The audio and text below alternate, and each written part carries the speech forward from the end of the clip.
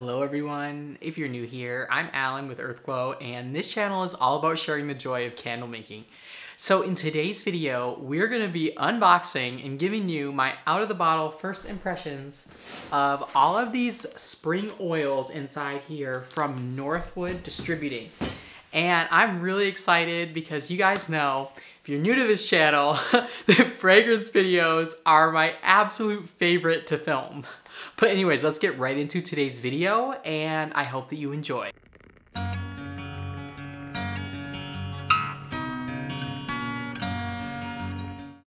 So like with all my fragrance videos, I'm gonna be showing you guys the unboxing, exactly how these oils were packed, and then I'm gonna be smelling them and without looking at anything, giving you my out of the bottle first impressions. And so a lot of times these companies will send me their fragrance notes and all that information um, which is great. But I, my goal with these videos is to just have fun and give you guys my honest first impressions without looking at anything. Um, so that's what I'm gonna do. I'm gonna flip you all around and I'm so excited. All right, you guys, so I'm all fancy here with my box opener. I am so, like, I never thought this would be something that I would purchase, but this was actually gifted to me by Nia, handcrafted, and like, I, ever since she gave it to me, I'm constantly using it. So, and I don't feel like I'm gonna cut my hands off when I'm opening boxes anymore. Um, oh my gosh, so this is their spring and summer fragrance release. See that? Oh, I'm so excited. It feels like spring today as well. Um, and they always send like these cute little, I actually have their magnet on my fragrance, um, one of the filing cabinets that I keep my fragrances in. Okay, so I have no idea what the names even are. Oh my gosh, and one of them says unnamed. Do you all see that? Um, wow, there's a lot of oils. I'm gonna be getting through all these in this video, so if you guys need to grab a coffee, grab a tea, I got my lavender and honey tea over here, so, oh, I'm so excited.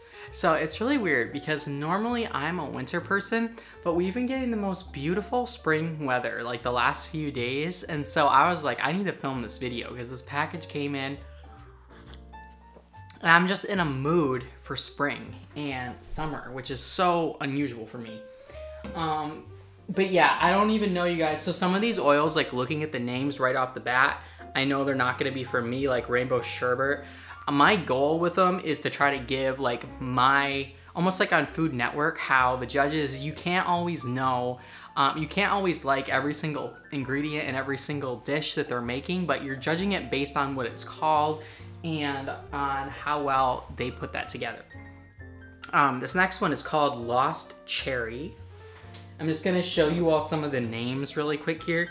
We've got Unnamed and Nectarine Blossom. We have, ooh, wow. I'm excited for Sun Drenched Vineyard. I love anything that gives me, like, takes me somewhere. Oh, those kind of rustic vibes, wanderlust vibes. If you all don't know, those are the names of my two uh, favorite collections. Uh, and I need to get the rustic collection restocked. That is like on my list, you guys. Um, oh wow, okay, lemon and rosemary palms. That is already giving me spa vibes and I'm living for it. Um, we got Peach Mimosa. That one I'm kind of scared for. And then, oh wow, Sea Lavender and Musk. That name is literally a vibe. Um, Daydreams and Lemon and Eucalyptus. Both of those just seem so spa, like Ayurveda, like just, mm, it, it makes me feel like I'm gonna have a meditation. Um, narcissist and high maintenance, all right. Interesting. Um, some of these more abstract names you never really know until you smell them, what take they're gonna have. Oh wow, okay, Rose Noir, I'm excited for that. And then this other one is called Neon Blossoms, all right. And then we have LYS 41 and then Bay 19, which I'm guessing these two are gonna be dupes or type fragrances would be my guess. So what should we start with? Oh my God, you guys. Okay, I'm gonna start off with, I think I wanna start off with, how about we do the, the narcissist? Like, that's just I've heard that name used in fragrance before, and I'm curious like where what type of a take they're gonna have on this. Is it gonna be kind of berry-esque. I forgot to mention this. I always mention this at the beginning of the video, but these are just my out of the bottle first impressions, right? And I think most of you know that, but if you're new to the channel, keep in mind that fragrance is very personal. It's very subjective. Something that I like, you might not like. Something you really like, I might put on my fails list, but oh my God, you guys, I am smelling something from like a foot away with this and oh my gosh, I'm living for what I'm smelling. Here goes Narcissist by Northwood Distributing. Oh, wow. Wow. Wow. We are starting out hot. Oh my gosh, you guys. I don't even know. Okay, this reminds me if you have smelled um, Baccarat 540, I know Simbi has a really good dupe for that one. Oh my god, this is along the lines of that. Extremely sophisticated Wow, this reminds me of Oud Wood by Tom Ford, except a little more gender neutral type of a vibe. I'm getting like a leather, I'm getting, wow, some very sophisticated accords. I can't pick out individual notes, right? There's like a, some type of berry accord, but it's more of like a very sophisticated, this is chillingly good chillingly good. It reminds me of some, the best way I can describe it is some type of version of Baccarat 540 and Oud Wood by Tom Ford. If those two had a baby, oh my gosh, you guys, Narcissist by um, Northwood Distributing. You guys, I'm gonna be looking at this oil on their website after this video because, oh my goodness, this might be my new Manhattan candle because you all know I've had a problem with oud wood. I get it from Stone Candles for that candle and it just has not been performing the way I want. So I've pulled Manhattan from my line, my Wanderlust line because it has, it was creating like after two months when you would burn the candle, almost like a sort of chemical type vibe at first, just like a weird smell. And it's just, it happens with some fragrances. Um, and it could be Oftentimes I found if you change the wick or you change different variables, it can work out. But for me personally, I, I'm not playing with my wicks at all. That collection, I use my luxury blend in the 0.04 series, 0.5 inch crackling boosters. And so anyways, this is a strong candidate for my Manhattan candle, depending on how this throws in my blend. All right, next up, oh my God, let's take a look at Sea Lavender and Musk. The name on this is giving me like a synthesis between like a spa, lavender and lemon vibe with like an oceanic vibe, like I'm in an ocean zen type of a state. Oh my gosh. All right, so this is Sea Lavender and Musk by Northwood. Here we go. Oh yeah. Oh yes. Oh my god, I just whacked myself in the face. This is really sophisticated. Wow. Okay, so this is like if you had, if you've smelled like mahogany and teak wood by Bath and Body Works, but that had like an oceanic baby, Oh my God. I know Midwest has one that is called, um, I'll put the name up on the screen, but it's basically like mahogany and teakwood. Flaming Candle has a good version. Nature's Garden has a good version. I think Nature's Garden is closest to the Bath and Body Works version, but this, if you're looking for that, like that dusky, like sexy, seductive sea type of a scent that has a little bit of a spa aesthetic to it, but it's also like, just sophistication. Like, this is really good. Sea lavender and musk. Oh my god, we are definitely two for two. I would rate both of these 10 out of 10. And I will be ranking these on my Patreon, so patrons definitely stay tuned for that. I should have that up um, shortly after I post this video. All right, next up, let's take a look at, all right, let's do, I gotta break my streak here. This is Rainbow Sherbet. Um, I, like I said, this is not gonna be for me. I can almost tell you without smelling it. I don't like things that smell like candy or that smell like, you guys already know if you've watched this channel for any amount of time. I'm gonna be judging this and Northwood, the throw, like I can already smell something a foot away on all three of these. Um, I'm to be judging this just based on the name and based on someone who might want something like that in their line. Oh yeah, no. No. Okay. I don't get rainbow sherbet from this. I, I, I get a sort of version of it, but it's more like bubblegum to me. Like a fake type of bubblegum, like one of those flavored bubblegums that you would get at the grocery store. So I get like a synthetic berry type of a note, but it's a very like childlike, immature um, type of a berry and no. Let's take a look at all right, let's take a look at Lost Cherry. Now, this take, I really don't know. Cherry fragrances, I'm kind of hit or miss with them, right? Like, it could be a really nice, sophisticated cherry, like a, mm, I'm trying to think of an example of that. They're really hard. I think Makesy has a few good ones, but cherry fragrances can easily go into that sort of childlike fake category. I don't mean to say childlike is fake, but just kind of like that synthetic type of a like bubblegum or toothpaste. That's what I'm hoping this doesn't do. So here goes Lost Cherry by Northwood. Oh, okay. No, this does smell something like, uh, it smells like something I got from Bath & Body Works as a kid. But it's more, almost has like an amaretto component to it that I kind of like. Um, yeah, so this is not, I would say this is kind of, if you like a cherry amaretto, like a type of gelato maybe, um, I'm on the fence, right? Like on one hand, I like it, and on another hand, I'm getting something that's kind of synthetic from it as well, which totally could go away when it's in a final product. A lot of the time when these are just out of the bottle, that is not uncommon. Um, yeah, I'm on the fence. It's like a cherry amaretto. This one is not as prominent as the first three out of the bottle. Um, it still definitely is hitting me with the strip, but those other ones I was smelling like a foot away. Let's take a look at Daydreams. This is another one that the name is sort of nebulous, right? It's kind of abstract. You really don't know. They could go like a linen type of a take, a fruity type of a vibe. They could go, I don't know, it, it's very abstract. There's a lot of different directions, like a lavender, a lilac. So here goes Daydreams by Northwood.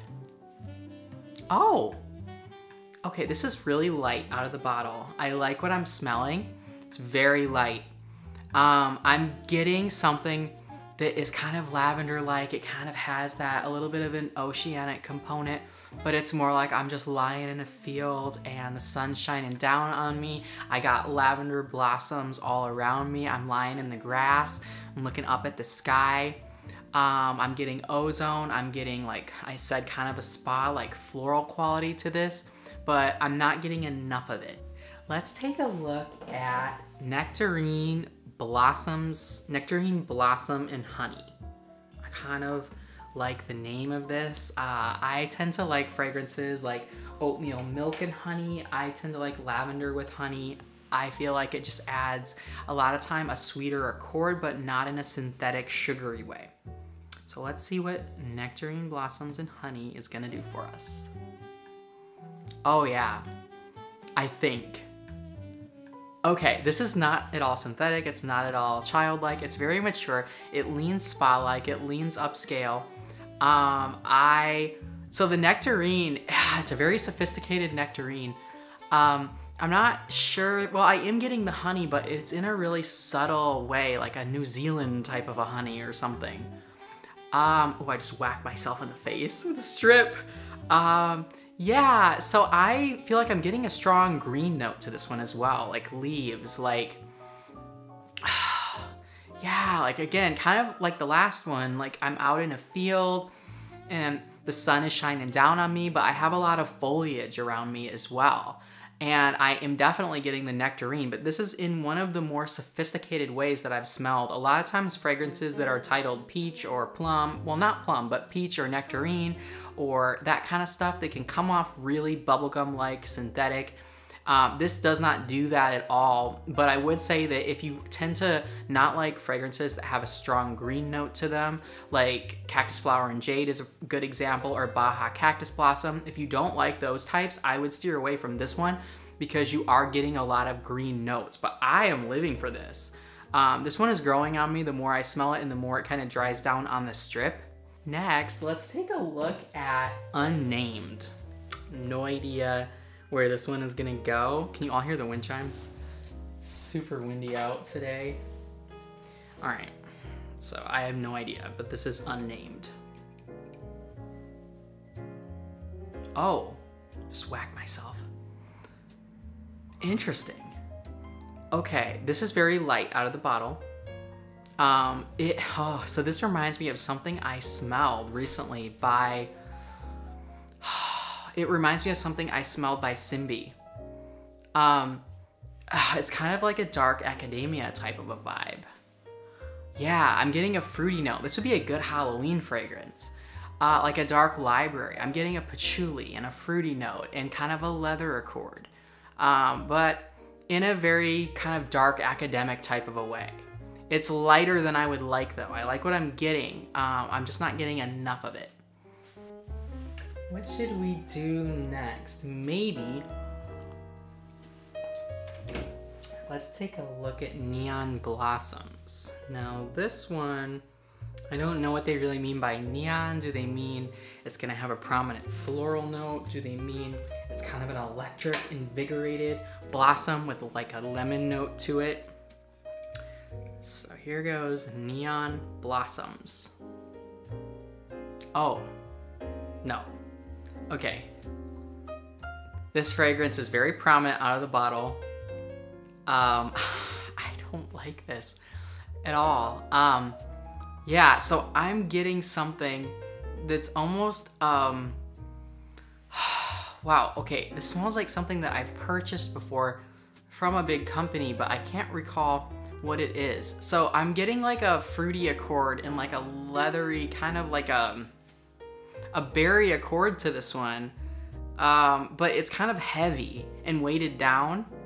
Um, yeah, it almost has like a licorice type of a note to it or something that's really um, kind of prominent in your face, but in a way that is um, kind of obtrusive to me uh, that could totally tone down when it's burning. Like I could see this being a good fragrance if you like Halloween type vibes, a lounge like fragrance, a black, maybe, um, I don't really know. It sort of has a candy like vibe, but also a licorice type of a aesthetic to it. All right, let's take a look at Bay 19. Now, I get a fragrance from Stone Candles that is called Bays, which is a diptyque type, and it's really good and it's a really great thrower. So I'm wondering if this is gonna be kind of like that type of a vibe.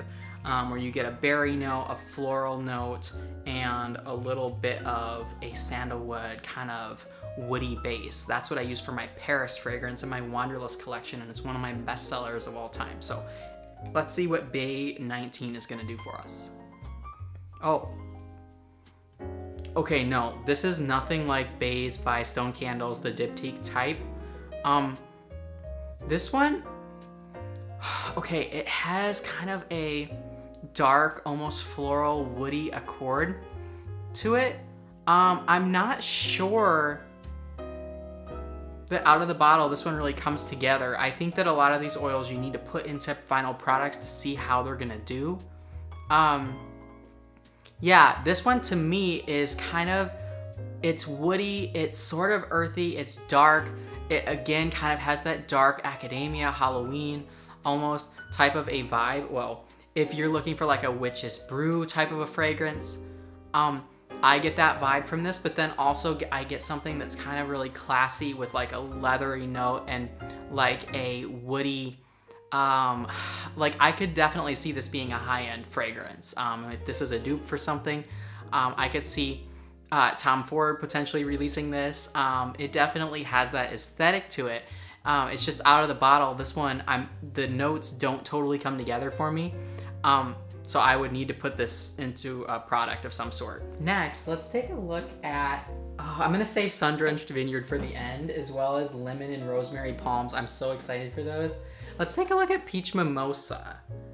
Um, mimosa fragrances are really popular. I know Erica from Memory Box Candle Co. has one that she keeps in her regular line that has been one of her best sellers for a while um, and that she really likes. So I'm curious what Peach Mimosa is gonna do. I'm expecting something kind of fizzy, something that is gonna give me that carbonation, something that's gonna have the peach vibe to it and kind of maybe a little bit seductive, but also fun and playful. So here we go. Oh, okay, this smells, if you've smelled Peach Nectar by Candle Science, It smells like that fragrance. Um, so I'm definitely getting the carbonation. I'm getting the peach. Um, it's a very synthetic type of a peach, almost like, yeah, like you might get in a drink of some sort. It's been mixed with some sugar, with some ice, uh, and kind of blended up. I'm definitely getting that vibe from this one. Um, this fragrance, I would say, is not for me personally. Uh, but I would say that if you're looking for that kind of fun, playful summer type of a peach with that mimosa, that kind of uh, just a little bit sweeter, but you also get that kind of alcoholic component, so it's kind of more sophisticated. I would say that you might want to check out this Peach Mimosa by Northwood. Next up, let's take a look at let's take a look at YLS41, and I wonder if this is also a dupe for something. Um, so I'm curious, not familiar with this fragrance if it is. Here goes Y LYS41 by Northwood. Oh, okay, this smells high end. I'll put a little more. This one is a little bit lighter out of the bottle. Yeah. Okay, so this smells like a very high end, and I don't like to use the word feminine leaning fragrance, but it's definitely got a prominent, like, this would be a wearable, like a perfume. If you bought like a Versace type of a perfume, or you bought something by Chanel, um, I could see this being like a, a women's marketed fragrance um, that definitely smells like a designer expensive perfume. Um, the notes that I'm getting are definitely some florals and I'm getting some berries to this and kind of a woodier sheer musk type of a base. Um, but yeah, I really like this. I think that if this came together in a candle the way that it smells out of the bottle, that this could be something that you have people walk into your house and they're like, they feel like they're walking into a million dollar home. I'm really excited for Rose Noir. Um, I tend to like fragrances that have things like noir or like night or twilight in the name. And I feel like with Rose, that could be a really good combination. I love the Rose and Oud fragrance by Candle Science. I know that one is really, like people go back and forth on it. I am one of the fans. I adore that oil. Um, but I tend to like rose fragrances in general, and I like kind of the woody, dusky noir component. So let's see what this one is gonna do. Oh, yeah. Okay, this smells expensive. Um, this is exactly like the name. I'm getting the noir. So if you like the Into the Night, Twilight Woods type of fragrances, I reference those oils a lot from Bath & Body Works. Um, this is definitely along the lines of something like that. It is gonna be really perfumey, um, but I'm living for it. I love anything dusky and enchanted twilight. I'm definitely getting the rose. I would say the rose in this one, it's kind of more of a white rose almost like it's a red rose, but it has like a white component to it almost. Like you just got married, you're like an old school couple and you're in a fancy hotel. Yeah, I like this. It has that kind of newness of like new love to it almost like at night. Let's check out High Maintenance. Um, it's an interesting name on this one, Northwood. I have no idea where they're going with that. I wonder if it's gonna be kind of a more perfumey like fragrance or more of a spa type of a take on that.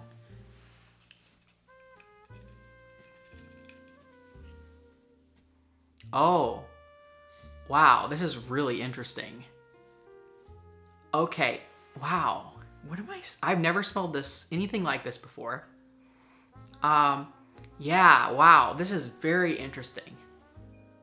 Oh yeah. So this again kind of reminds me of something like if you like the Baccarat 540, this one does lean more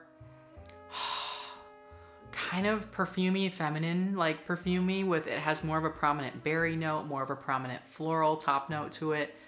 Um, this is really interesting. Uh, but it has a really blended base as well that's woody and earthy and a little bit leathery. Oh my god, I just whacked myself in the lip. So we're down to lemon and eucalyptus, sun-drenched vineyard, and lemon and rosemary palms. So let's take a look at, I'm super excited for all of these.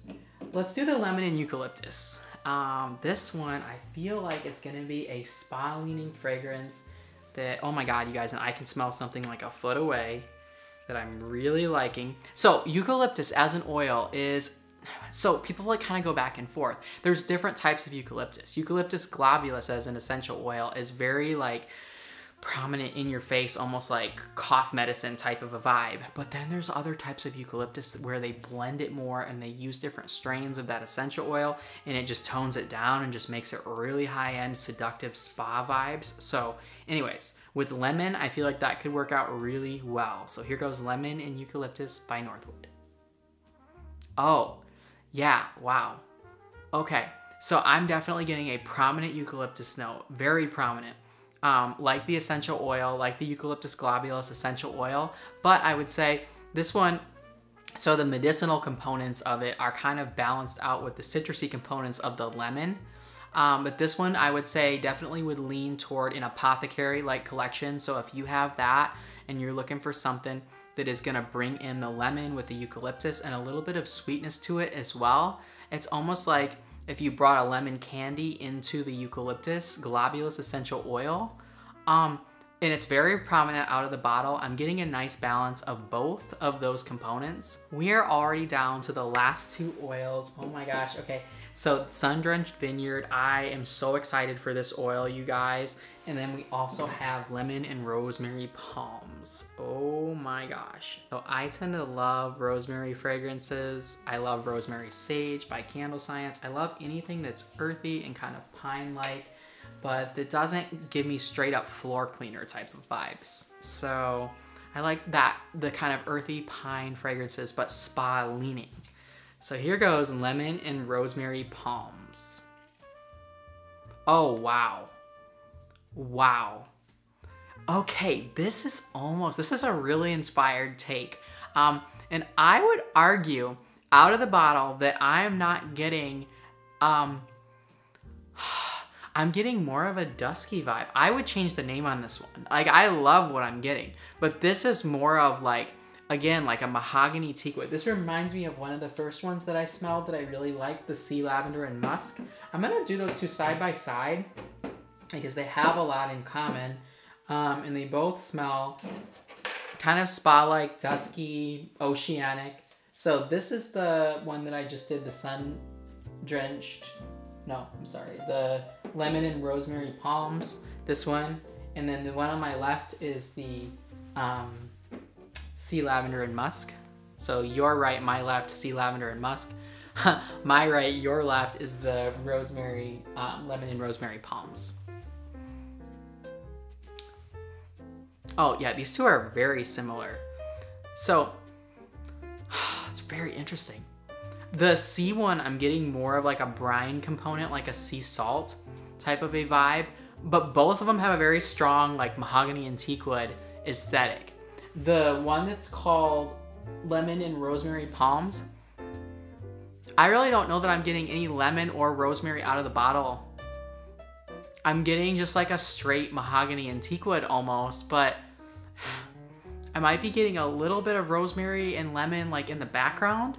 I like both of these. I think that the sea lavender and musk is definitely named well. It fits the name to a T. I'm getting the musk, I'm getting the sea component, but again, it's like that mahogany and teakwood type of a take. Whereas, oh my gosh, yeah, I whacked myself again, but the lemon and rosemary, um, I'm just not getting, so I would say that that one, um, unless it totally transforms into something else when you put it in wax, out of the bottle, I'm getting more of a mahogany teakwood with a little bit of those notes possibly in the background. Um, but I really like it. Last but not least, we have the one I'm most excited for, Sun Drenched Vineyard. Oh my gosh, you guys. So I am not sure if they're gonna take like a grapevine, like a vineyard type of aesthetic like that, or if it's gonna be like I'm lying in the fields, the sun is coming down, I've got the golden hour light on me. I have no idea. I expect something that's maybe a synthesis of what I just said, but here we go with Sun Drenched Vineyard. Oh. Okay. So I'm definitely getting a grape note to this. Yeah, the more this dries down, the more it reminds me of like a Chardonnay type of a fragrance.